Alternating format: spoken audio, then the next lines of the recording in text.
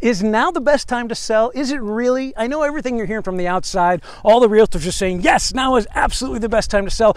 Prices are still high. They're going down. Interest rates are going up. Sell, sell, sell now. But is it really the best time for you? Hey everyone, this is Craig with Aviar Real Estate, your Conejo Valley real estate expert. And the answer to that question is Maybe. It depends on your situation. For most people, now is probably not the best time to sell. For most people they pro- that have been in their home for a, a number of years at least, you probably have a really good interest rate right now. You probably also have some excellent equity in your home. So selling your home right now just for the sake of cashing out with nowhere really to go, having to buy another home in other areas with higher interest rates, is that really going to do a whole lot for you?